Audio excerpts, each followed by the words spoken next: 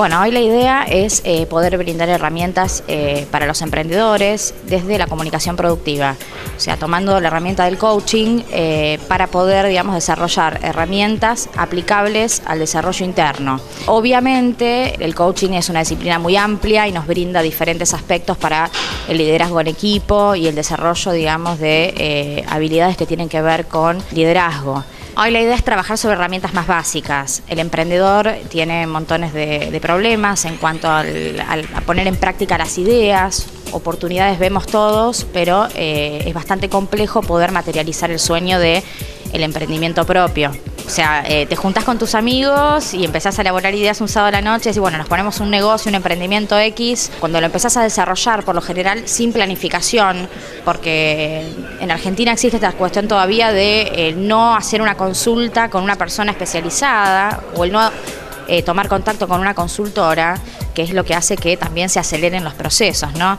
Si elegimos ese camino, vamos a tardar más tiempo también y por lo general eh, los emprendedores, si bien asisten a montones de capacitaciones y demás, eh, no hacen un trabajo interno de autoconocimiento, lo cual también va en detrimento, digamos, de la proyección de este emprendimiento en el tiempo. Si uno eh, quiere sostener este emprendimiento en el tiempo, tiene que hacer un trabajo interno propio, en el cual, digamos, ese proceso permita sostenerlo en el tiempo.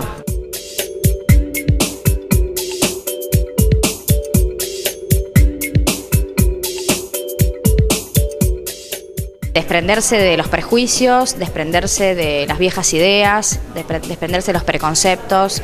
Eh, no siempre tenemos que saber todo y haber hecho una carrera específica en función de lo que queremos eh, emprender, sino que lo que sí tenemos que tener es compromiso. O sea, yo creo que lo que quiero dejar hoy eh, en claro con respecto a esta charla eh, y a los emprendedores que van a asistir es que sin compromiso real eh, no hay emprendimiento que se pueda sostener.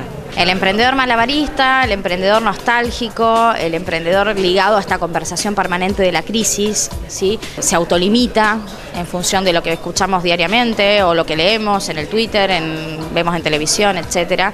Eh, y eso, digamos, eh, no es fácil de sobrellevar, es diferente a lo que sucede en otros países. En primer lugar, bueno, saber bien qué es lo que queremos hacer, ¿no? Establecer un compromiso real de que mi emprendimiento vaya a ser el medio o el camino para poder desarrollarme en lo que yo realmente quiero. Está muy ligado a la pasión, hacer algo que nos apasione, para no abandonarlo. Por otro lado, la planificación, importantísima. Sin planificación no, hay emprendimiento. Eh, o va a haber durante un tiempo muy corto y no, va a tener, digamos, no va a llegar a buen puerto. Establecer objetivos, eh, misión, visión, eh, montones de términos que solemos ver usualmente en montones de páginas web o en dossier o en formularios y demás, que son súper útiles y que hay que desarrollarlos a conciencia y que tengan que ver realmente con el objetivo a seguir.